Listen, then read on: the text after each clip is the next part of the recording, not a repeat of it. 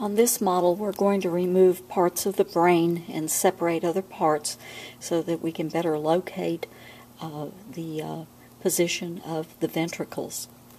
So, this is the anterior of the brain, and I'm going to remove part of the frontal lobe. And we can see the anterior part of the lateral ventricles. I'm going to remove some more of the brain. Okay, here's the corpus callosum, and here is the rest of the lateral ventricle. Here's its tail coming into its space.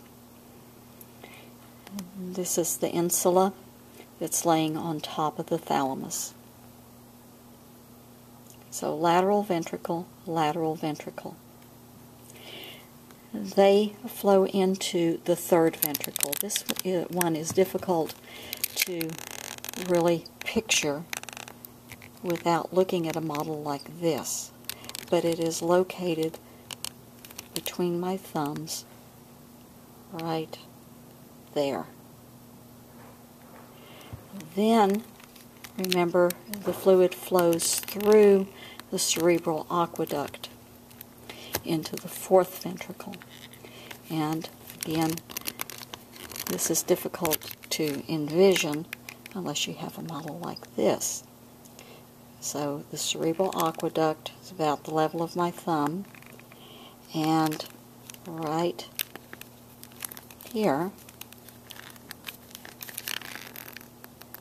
at the bottom, right where the uh, little divider is, is the fourth ventricle.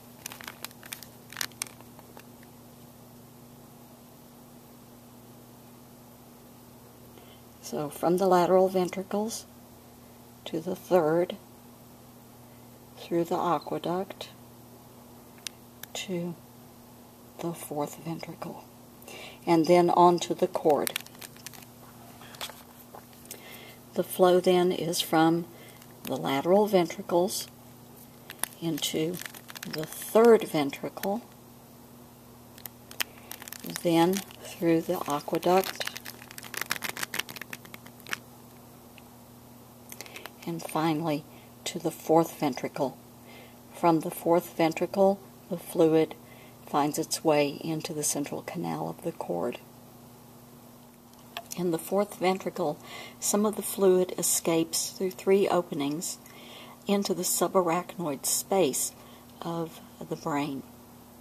The remainder travels through the cord and leaves the central canal of the cord through an opening in the bottom of it.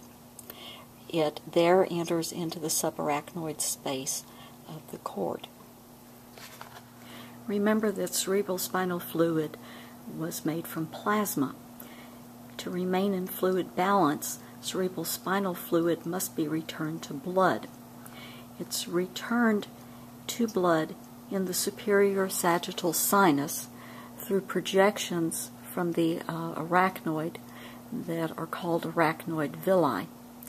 The cerebral spinal fluid becomes mixed with blood plasma and becomes part of blood. The little red dots on this model represent the arachnoid villi.